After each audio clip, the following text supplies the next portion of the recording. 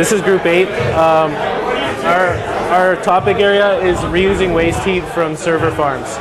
So normally, if you have if you have a room full of servers, um, the cooling system usually there's you use air conditioning. A lot of energy is used up trying to get the heat out of the room.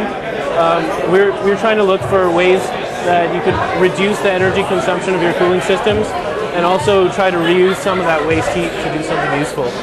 Um, what we what we ended up. Uh, do you want to talk about what we're doing? Or?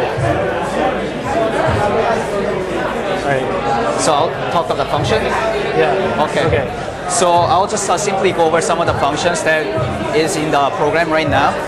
So right now there's like uh, one loop of the liquid cooling system. So what it does is that there's a whole set of uh, piping that goes through into the CPU, and then it will actually uh, transfer the heat from the CPU, and then um, the water will keep going through the loop so that it kind of dissipates the um, heat inside the water to the, to the air. So we are at the maximum temperature of about 55 degrees Celsius at the most.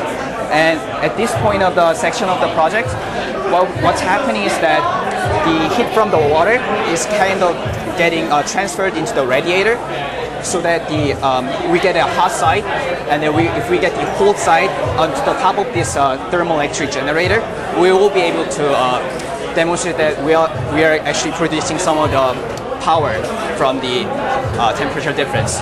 So to demonstrate that, um, right now there's a um, hot side underneath, and then we will put some uh, dry ice on top of it to demonstrate the uh, uh, cold side of this. So what happens is that the voltage is kind of rising, and then if we try to uh, make some surface area more, we get a higher voltage. We are um, reaching at about uh, 1.2 or 1. We're, we're, and then well, we can uh, light up the LED if we actually goes up higher than 1.6 voltage. That was a kind of proof of concept that we had into the project. Yeah. So in a in a practical deployment of this, obviously we wouldn't use dry ice. Um, but the idea would be that on, on the hot end, you'd have a closed system that's carrying heat away from like a large amount of servers. And then on the cold side, we would use tap water um, to try to take some take some uh, energy usage offset off of uh, like water heating that would have heated the water anyway for the purpose of, of using it as hot water.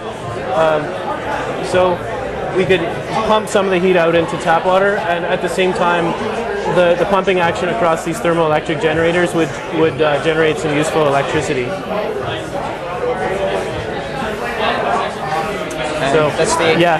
end of our presentation. Thank you very much.